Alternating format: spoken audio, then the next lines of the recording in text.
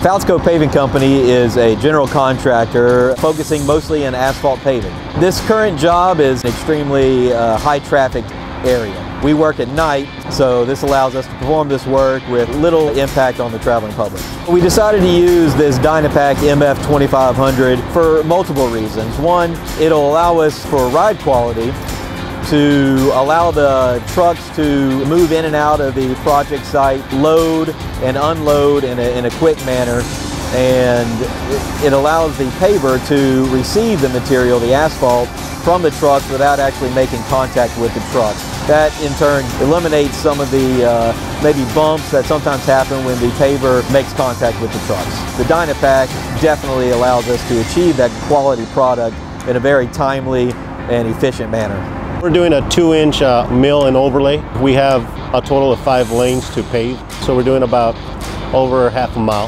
Well, the advantage that I think is that you can move that platform. You know, you can have a good bird's eye view over what you're paving and the safety of the guys around the machine. So that's really good, you know. When you're turning on an intersection and you want to keep the machine going, instead of having to stop and readjust that machine, like another machine would have to. This one can just turn on a dime and continue feeding the paver so the paver can continue moving forward. Our machine's a little different than most other people's. We use a rubber belt system to transfer the material into the paver, whereas most of the other ones are running uh, chains and slats that actually drag the material.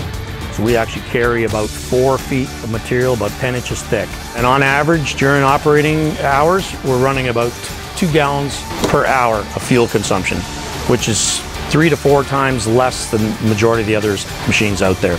So you save a lot of money by the end of the year. I operate the Dynapac. It's easy, helps me maneuver better around corners or turns. Overall, it's a fast-pacing machine. So we kept working instead of stopping, waiting for trucks to come in. And it's a badass machine, honestly.